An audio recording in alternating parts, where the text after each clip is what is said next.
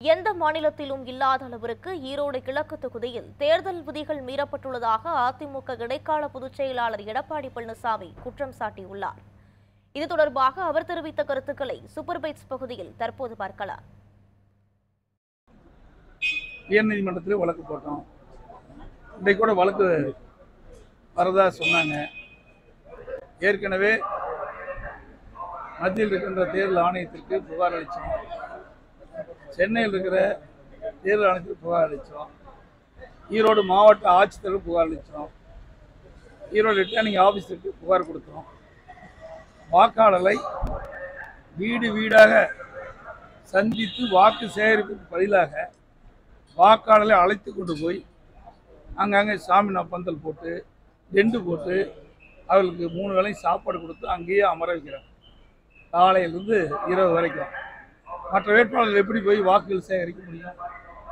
இதை இந்த விதி தேர்தல் விதி விதி மீறப்பட்டுகின்றன இதை பற்றி நான் குறிப்பிட்ட அனைத்து அதிகாரி தேர்தல் அதிகாரிகிட்ட புகார் கொடுக்கப்பட்டது இது வரைக்கும் எந்த நடவடிக்கையும் எடுக்கல.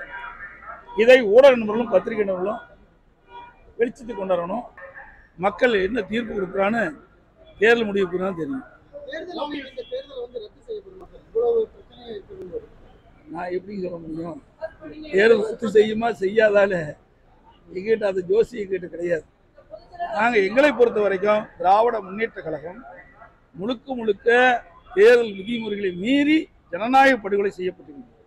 இந்திய வரலாற்றிலேயே எந்த ஒரு மாநிலத்திலும் இல்லாத ஒரு இடைத்தேர்தலில் தமிழகத்தில் இன்றைக்கு வாக்காளர்களை அடைத்து வைத்து ஆடு மாடுகளை அழைத்து ஓட்டி சென்று அடைப்பதைப் போல ஏழை வாக்காளர் அதை மையமாக வைத்து அவர்கள் ஆசை காட்டி அவளை அழைத்து சென்று ஆடுகளை பட்டியலை அடைப்பதை போல வாக்காளர்களை அடைக்குவது உண்மையிலேயே ஜனநாயக படுகொலை.